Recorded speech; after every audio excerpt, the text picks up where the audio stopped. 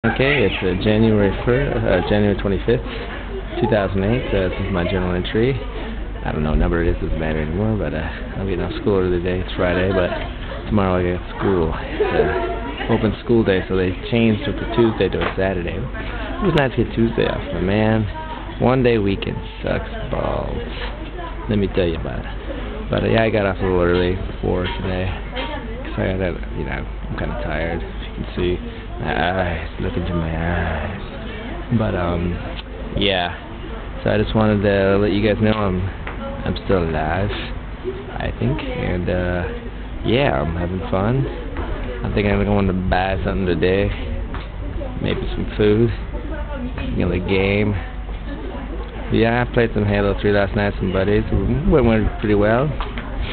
Kicked some ass, got my ass kicked a little, but uh, yeah, it was all good. But uh, I'll see you guys uh, on the flip side.